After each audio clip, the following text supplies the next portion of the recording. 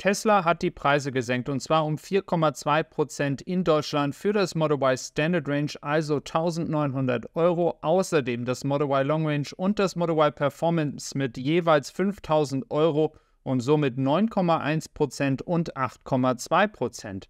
Das ist aber noch nicht alles. Auch in Frankreich wurden die Preise gesenkt und ganz wichtig, man hat jetzt auch den Sollzinssatz gesenkt und der liegt jetzt bis Ende des Quartals bei 0,0 Prozent. Ja, du hast richtig gehört, es gibt keinen Sollzinssatz mehr. Und im Vergleich dazu das Tesla Model 3 Highland mit 6,23 Prozent Sollzinssatz. Das ist natürlich jetzt ein unschlagbares Angebot. Die Frage bleibt natürlich, ob man jetzt schon abverkauft, weil ja bald die Fabrik schließt und vielleicht doch das neue Tesla Model Y Facelift ein wenig früher kommt. Das ist aber nur eine Spekulation. Wir müssen also noch abwarten. Lass gern dein Feedback da, was du dazu denkst. Bis dann und tschüss.